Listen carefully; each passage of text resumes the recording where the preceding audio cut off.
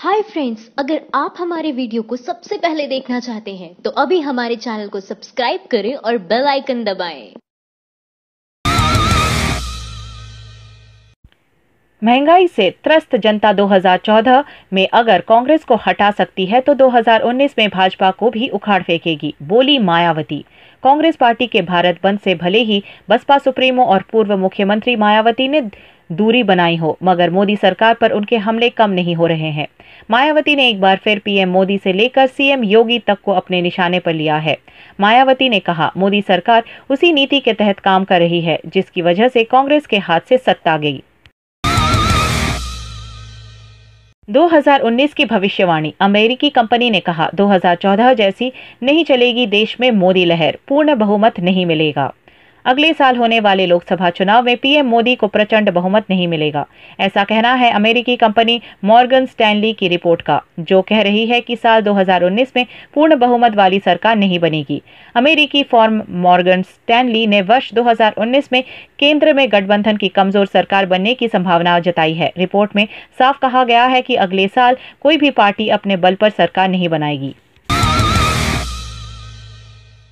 अगर यूपी में सपा और बसपा के बीच गठबंधन हुआ तो 2019 चुनाव में बीजेपी का सुपड़ा साफ़ हो जाएगा, बोली चुनावी विश्लेषक।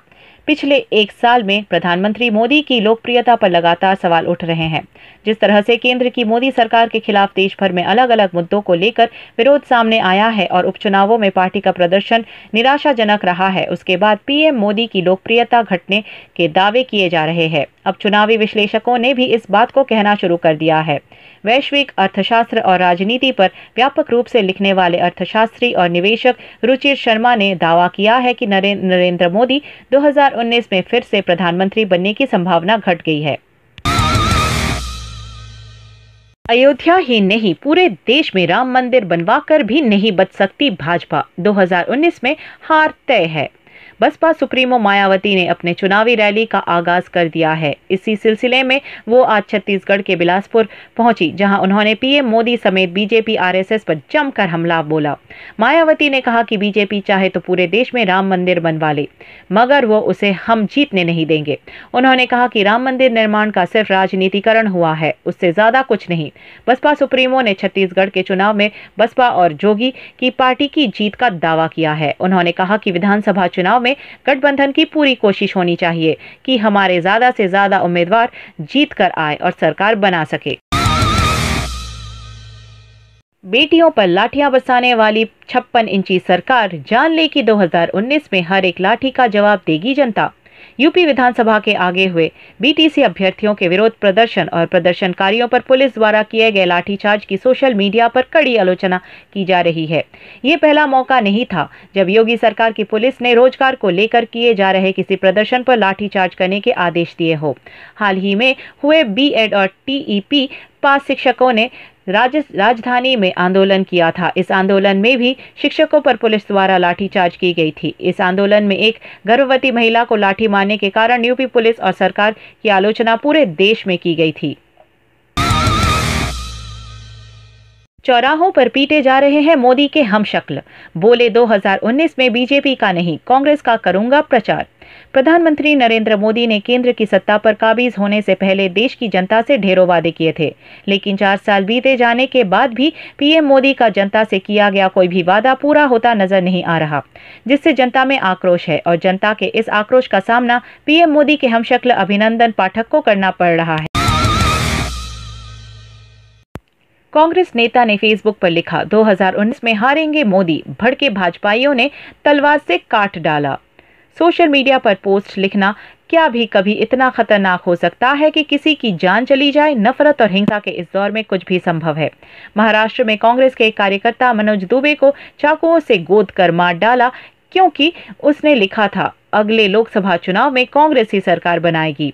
बीजेपी और बजरंग दल के कार्यकर्ताओं ने पहले पोस्ट हटाने की धमकी दी, फिर पोस्ट न हटाने पर उस पर हमला बोल दिया। इस मामले में पुलिस ने बीजेपी के सुनील दुबे, आकाश शर्मा और उमेश सिंह को गिरफ़्तार किया है। ईवीएम के बाद अब लिस्ट से वोटरों के नाम गायब। क्या ऐसे 2019 का चुनाव जीतेंगे अमित शाह? पूछे केजरीवाल। दिल्ली में मतदाता सूचियों में बड़े पैमाने पर गड़बड़ी को लेकर मुख्यमंत्री अरविंद केजरीवाल ने मुख्य निर्वाचन आयुक्त ओपी रावत को चिट्ठी लिखकर शिकायत की है। इसके साथ ही इन्होंने इस मामले की पारदर्शी तरीके से जाँच कराने की मांग करते हुए रावत से मिलने का समय भी मांगा है। चिट्ठी में केजरीवाल ने लिखा, हमारी जानकारी में यह बात आई है कि विधानसभा चुनावों के बाद दिल्ली में लाखों वोटरों के नाम वोटर लिस्ट से मिटा दिया गया है। ज़्यादातर नाम बदनीयती से मिटाए गए हैं। नामों को मिटाने में कानून का पालन नहीं किया गया है। मोदी जी, वादा तो दो करोड़ रोज़गार देने का था, फिर ये लाठियाँ क्यों? युवा इसका जवाब 2019 में देगा, बोले राहुल। उत्तर प्रदेश के चुनाव में भाजपा ने रोज़गार देने के बड़े बड़े दावे किए, मगर सभी दावे साल भर के अंदर ही सड़कों पर दम तोड़ गए। नतीजा हुआ ये कि जिनकी भर्ती पहले ही हो जानी थी, उन्हें रोक दिया गया।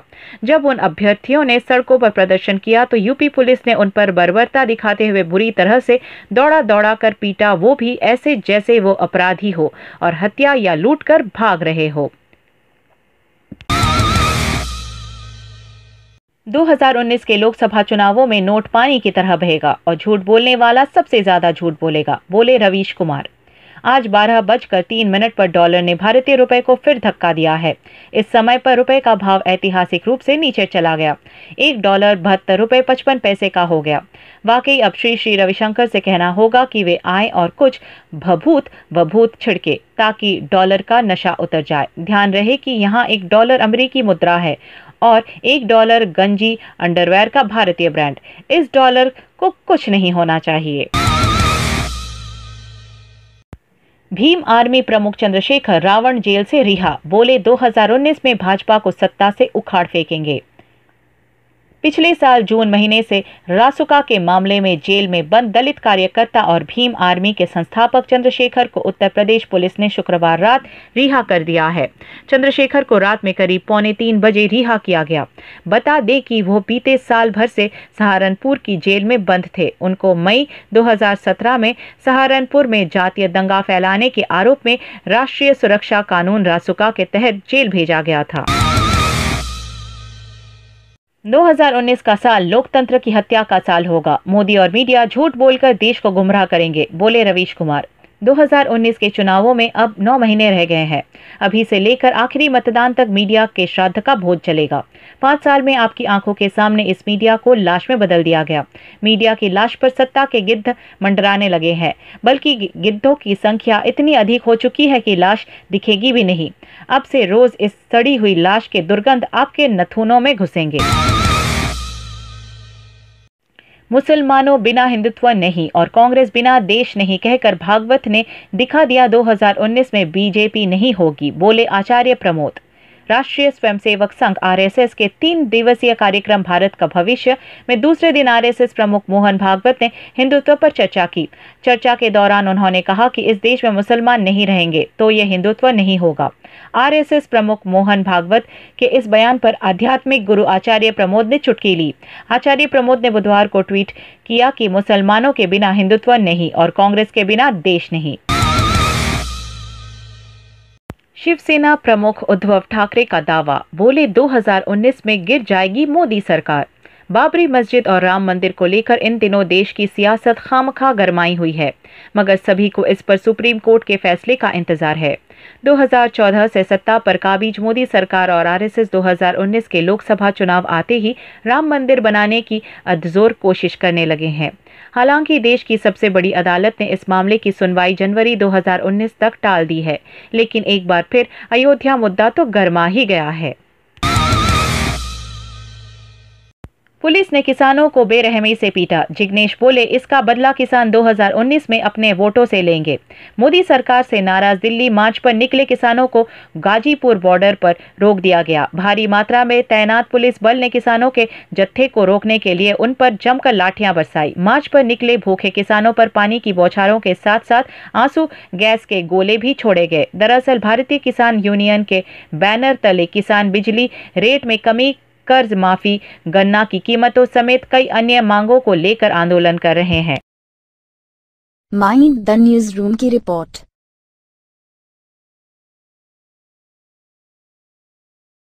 उम्मीद करते हैं आपको ये वीडियो ज़रूर पसंद आया होगा। हमारे इस वीडियो को लाइक और शेयर ज़रूर करें। और अगर आप अपना कुछ फीडबैक या सजेशन देना चाहते हैं तो नीचे कमेंट सेक्शन में कमेंट लिखकर दे सकते हैं। अगर आपने अभी तक हमारे चैनल माइंड द न्यूज़ को सब्सक्राइब नहीं किया है तो प्लीज़ अभी सब्सक्राइब करें और बेल आइकन भी दबाएँ ताकि आपको हमारे नए वीडियोस के बारे में सबसे पहले पता चल सके। तो देश दुनिया की सनसनीखेज और मज़ेदार खबरों के लिए देखते रहे माइंड द न्यूज़ नमस्कार।